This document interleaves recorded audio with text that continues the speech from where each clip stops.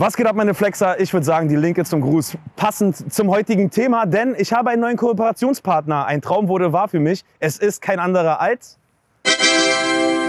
Harley Davidson. Ich bekomme heute ein neues Motorrad und was es wird, seht ihr gleich. Wir gehen rein.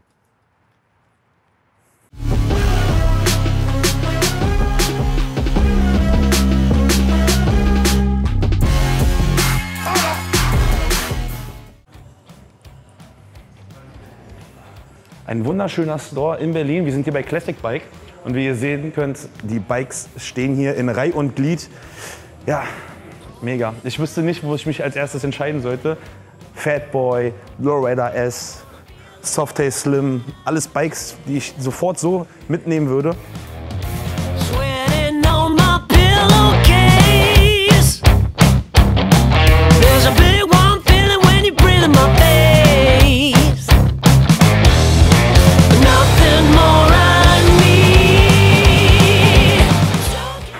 Ja noch einen vernünftigen Helm, einen Integralhelm am besten, damit ich auch vernünftige Vlogs für euch machen kann. Und meine Helme sahen halt nie wirklich nach Harley aus, sondern eher nach Supersportler. Das ändern wir jetzt und sind jetzt in der Helmabteilung. Und ich glaube, wir gucken, was wir hier finden, aber wir werden auf jeden Fall fündig. Es sind so einige coole Helme. Das ist, glaube ich, nicht so meins. Den finde ich schon sehr geil. Aber das ist mir ein bisschen zu windig hier. Aber der hier zum Beispiel, der sieht richtig gut aus. Ah, und er hat das integrierte Sender. Das ist nämlich der Boom Audiohelm. Damit könnt ihr bei der Fahrt Musik hören, telefonieren. Und wenn jemand den gleichen Helm hat oder einen Sender hat, könnt ihr euch unterwegs bei den Touren untereinander unterhalten, miteinander Musik äh, koppeln. Also ihr könnt quasi die gleiche Musi äh, Musik hören.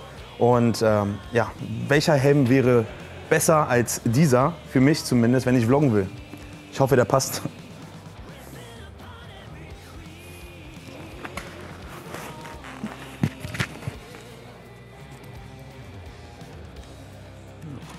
Doppel-D-Verschlüsse.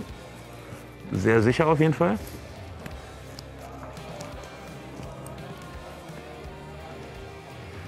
Was meint ihr?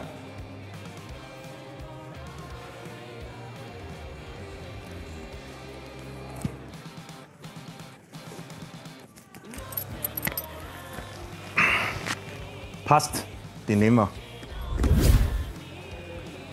Okay, Freunde, den Helm haben wir schon mal. Motorräder stehen hier zwar auch viele rum, aber meine habe ich noch nicht gesehen und ich habe richtig Bock zu fahren. Ich würde sagen, wir gehen jetzt raus, holen meine und fahren einfach mal los.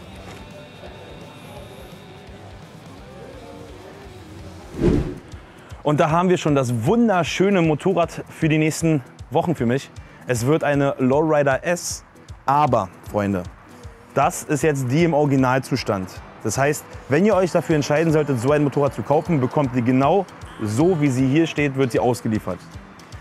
Ich bin aber 1,85 und ich habe von vornherein gesagt, dass die Sitzposition bei der Lowrider S, sprich die eines typischer, einer typischen Diner, ja, sprich genau diese Position, ist einfach nichts für mich. Damit werde ich vielleicht maximal eine Stunde, anderthalb fahren und dann werde ich sagen, ey, ich kann nicht mehr, ich habe keine Lust, meine Knie tun weh und einfach, nee. Deswegen von vornherein habe ich gesagt, ich baue mir die Fußrastenanlage um und möchte bitte eine vorverlegte Fußraste. Und das Ganze sieht dann wie folgt aus. Und schon ist es erstens entspannter, zweitens habt ihr einen viel cooleren Look auf dem Bike und vor allem diese Maske hier vorne erinnert mich sowas von an Sons of Anarchy. Schreibt mal in die Kommentare, ob ihr das gleiche Feeling gerade habt, wenn ich hier so drauf sitze. Als würde ich quasi hier äh, Jax Teller sein und losfahren zu Teller Moro. Und äh, ja, mit den Jungs mich treffen. Ich habe richtig Bock. Ja, also viel Unterschied ist jetzt nicht. Fußrastenanlage ist umgebaut. Aber das Geilste an dem Motorrad ist auf jeden Fall der 114er Motor. Ja, ich bin damit schon gefahren, also ich weiß, was die drauf hat.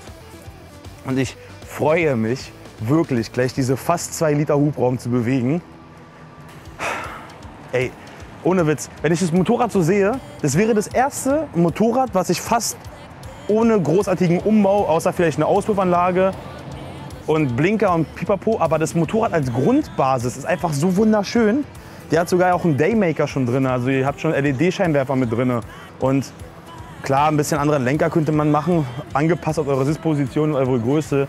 Aber das sind so Sachen, die muss man sowieso bei Harley machen. Ja, aber das Wetter passt. Ich würde sagen, ich springe auf die Karre und sage euch einfach, wie es ist, in der POV die, die, das Motorrad zu fahren und wie es sich fährt, seht ihr jetzt.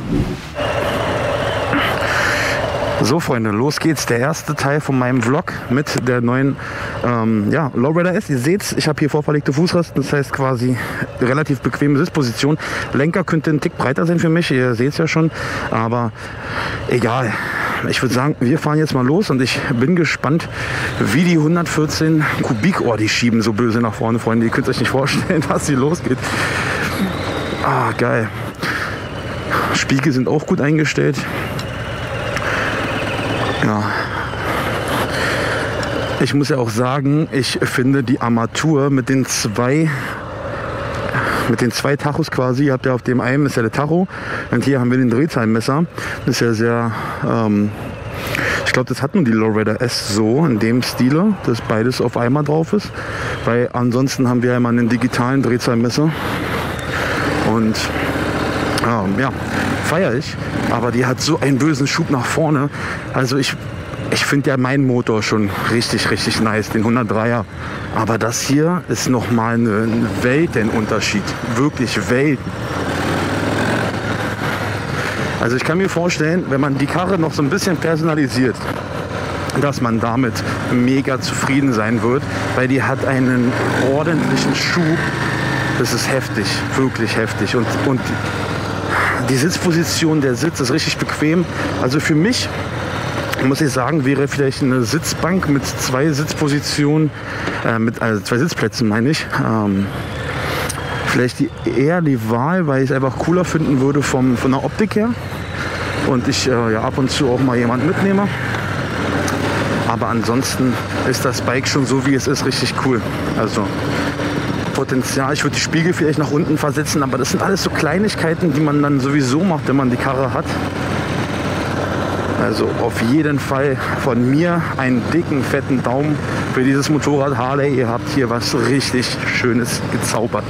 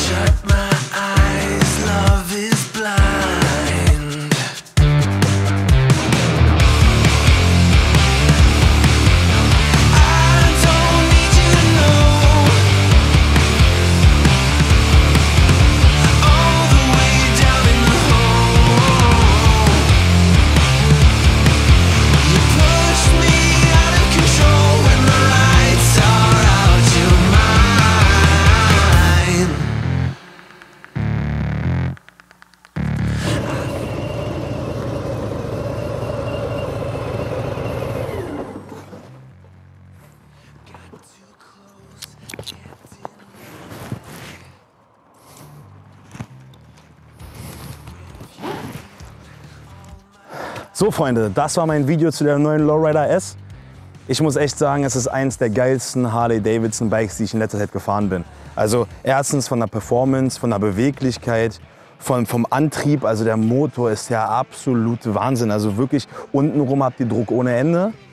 Also von mir definitiv eine Kaufempfehlung an euch. Also wenn ihr überlegt habt, euch eine Lowrider S zuzulegen, es ist eine sehr, sehr gute Wahl. Damit macht ihr auf jeden Fall nichts verkehrt. Ich würde sagen, schreibt mir doch gerne in die Kommentare, welche Bikes ich noch so für euch testen soll. Ansonsten würde ich sagen, wir sehen uns beim nächsten Mal wieder, Freunde. Abonniert den Kanal, aktiviert die Glocke und checkt mein Instagram-Profil aus. Bis dann.